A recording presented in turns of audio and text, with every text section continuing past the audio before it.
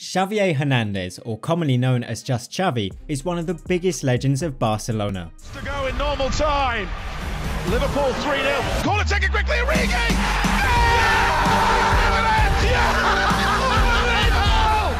Where he spent 17 seasons as a player, making over 700 appearances, and taking over the club as manager when the team struggled in 2021. Despite his short build, Xavi is widely considered one of the greatest midfielders of all time. Little routines when they're under more pressure from their colleagues than they have been from Arsenal then. You can understand why though. Messi. As he was renowned for his passing, vision, ball retention and positioning. Xavi was awarded the world's best playmaker award four times. You indeed, ladies and gents, please put your hands together for an extraordinary man, Xavi, and an even yeah. a more extraordinary man, Tony. Thank yeah. you very much indeed. All straight between 2008 and 2011. He was included in the FIFA FIFPro World 11 on six occasions 2008 2013, and the UEFA Team of the Year five times from 2008 to 2012. He was awarded the Prince of Asturias Award in 2012 and won 32 trophies in his career.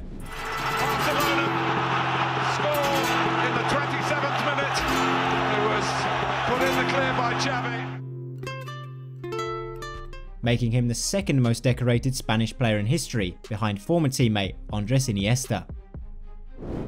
A small, complex, agile and technically skilled player with a slim physique and a low centre of gravity, these qualities compensated for his lack of pace or physicality. Xavi's signature moves while in possession Magic from Xavi Hernandez meant he made a 360 degree turn, a feat known as La Pelopina, which allowed him to move away from the opponent, retain possession, and give him space and time on the ball to think about his next pass. In his youth, he also played as a centre back before being shifted to a midfield role. While primarily a central midfielder with Barcelona, he often played in a more advanced midfield role with Spain. Although he was not known for his tackling ability or being productive in front of goal, Xavi's outstanding vision, precise passes and world-class ball control allowed him to create chances for teammates and dictate the flow of play in midfield. These qualities were demonstrated by his performance during Spain's 2010 World Cup victory, where he maintained a 91% pass rate throughout the tournament. Although he was primarily a creative player, he could also score goals himself in addition to assisting them.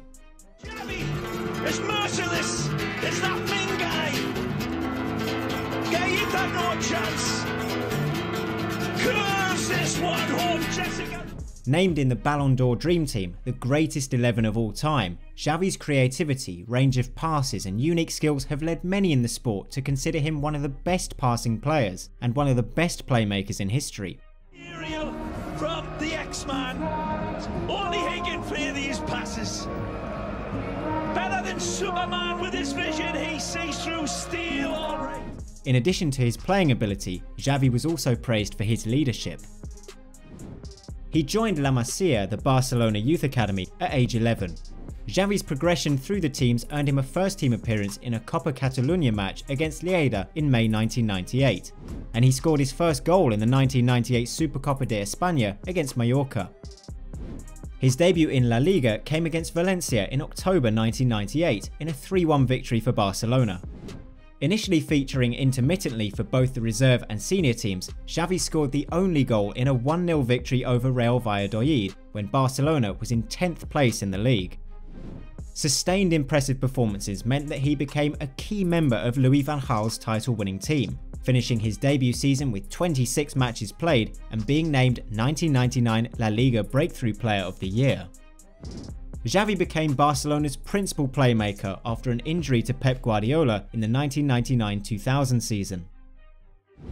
In the following years, Barcelona was on the verge of bankruptcy and struggling to keep its place in La Liga's elite. Playing in midfield but in a more defensive role, Xavi made 20 assists and scored 7 goals in the following two seasons. Just go down because you brought down. Well, wait a minute, pass on the attack again. Leo Messi, Leo Messi. Oh! In March 2002, he scored his first goal in El Clasico against Real Madrid. He was named the vice captain for the 2004-05 season, in which he helped Barcelona win La Liga and the 2004 Supercopa de España. In the 2005-06 season, Xavi tore the ligaments in his left knee during training.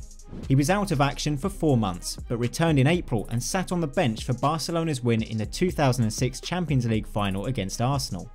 Barcelona are European champions for the first time in 14 years. Xavi helped Barcelona win the 2009 Champions League final 2-0 against Manchester United, assisting the second goal by crossing to Messi for his header. Xavi onto the head of Messi! That should do it for the Blaugrana.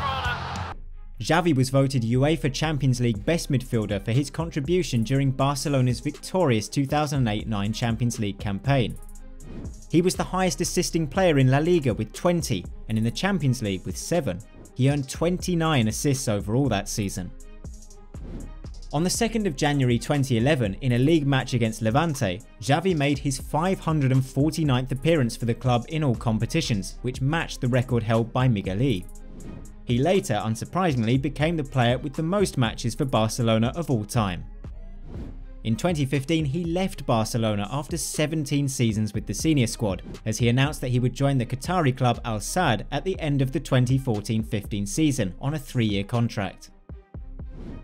With Spain, he won the FIFA World Youth Championship in 1999 and the silver medal at the 2000 Olympics. After making his debut in the senior team in 2000, he played in 133 matches for his country and was an influential figure in the team's success. He played an important role in Spain's victory in the 2010 FIFA World Cup, as well as their victories at UEFA Euro 2008 and Euro 2012. For the second time in a row, and this golden generation has yet another trophy. Xavi was named the player of the tournament at Euro 2008 and was named in the UEFA Euro Team of the Tournament 2008 and 2012. With two assists in the 2012 final, Xavi became the first player to register assists in two separate European finals, after setting up the only goal in the final four years earlier. After the 2014 FIFA World Cup, Xavi announced that he was retiring from international football. In November 2021, he returned to Barcelona as the new head coach to replace Ronald Koeman on a contract until June 2024. Thanks for watching. If you liked the video, press the like button and subscribe to the channel so you don't miss any new videos.